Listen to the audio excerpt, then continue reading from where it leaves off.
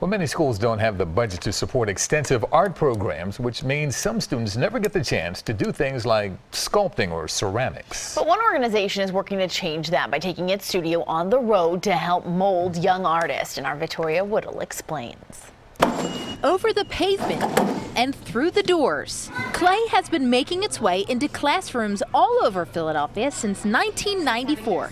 Look out for this workshop on wheels called the Claymobile. On behalf of Clay Studio, a nonprofit organization and center for ceramic arts, who bring the instructors and all the supplies. So they'll walk into the classroom, and our Claymobile instructors will have set up some tables. They put canvas down on the tables. They sit down, and our instructors usually give them a brief overview what is clay, where does it come from, and things like that. Um, and then they jump into a demonstration of whatever project the kids are going to create. So they watch the demo, and then we get right to work. And these fifth grade students from Moffet Elementary just couldn't wait to get their hands dirty. Clay is a unique medium in that it's very tactile and very hands-on. It's a little different than paper and pencil with drawing and things like that.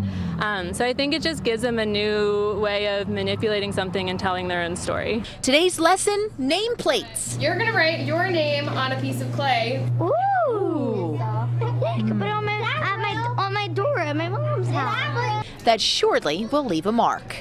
Actually, my birthday on Saturday. Well, now you'll have this to remember the week that you turned 11. That's pretty cool. It's my first day of being 11 in school. Memory made. Vittoria Woodill, CBS 3 Eyewitness News.